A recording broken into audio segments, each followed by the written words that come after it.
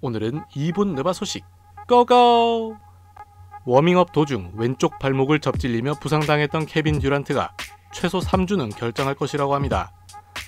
지난번 허벅지 부상을 당했던 루카 돈치치가 MRI 검사 결과 이상이 없는 것으로 확인되었으며 통증이 가라앉으면 바로 복귀할 것이라고 하는군요.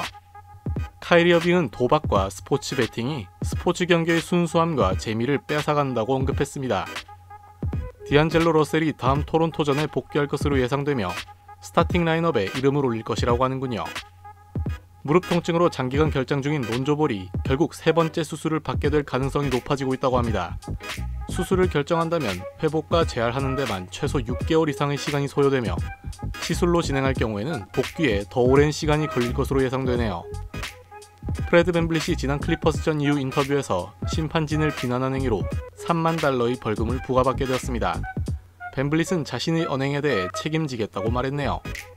스티븐 아담스가 무릎 부상으로 인해 잔여 시즌을 결장할 예정이며 4주 후 재검진할 것이라고 합니다. 제일런 브라운은 마스크를 끼고 플레이하는 것이 매우 피곤하다고 말했습니다. 그랜트 윌리엄스는 자신의 역할이 줄어든 것에 대해 지금 자신이 행복하다고 답한다면 농구에 대해 신경 쓰고 있지 않은 것이라고 말했네요. 조시 하트는 이번 여름 opt out한 뒤 자유계약 선수가 된 다음 다시 뉴욕과 재계약할 것이라는 전망이 있습니다. 뉴욕 구단은 이번 오프시즌 오비 토핀을 트레이드할 수도 있을 것이란 루머가 있네요.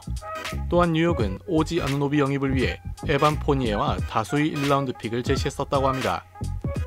모 밤바가 왼쪽 발목 염좌로 인해 최소 4주 결장할 예정이며 추후 재검진이 이루어질 것이라고 하는군요.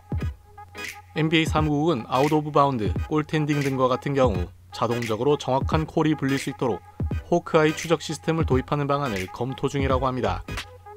조지타운 대학교 농구부 감독을 맡았던 패트릭 유잉이 지난번 빅 이스트 경기에서 패한 후 경질되었다고 하네요.